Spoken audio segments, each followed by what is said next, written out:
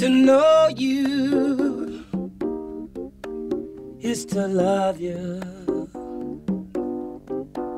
But to know me is not that way, you see.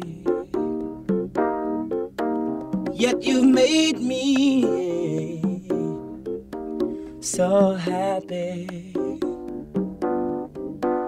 that my love for you grows endlessly. When I am sad and feeling down, you always comfort